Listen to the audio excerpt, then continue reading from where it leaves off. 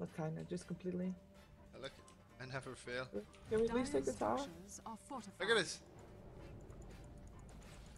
What the fuck? You missed the standing Enemy still But tower. that was bugged. If you saw my screen, that went right through him. No, if you Yes. saw my screen, you hit But it went him, right through he him on my screen. still. I'm gonna watch the replay on my all. stream right now. You'll see it went right through him. I'll, see, I'll check it. Yeah. Look now. Don't worry. 20 seconds. Oh. It went right through him. Lightning.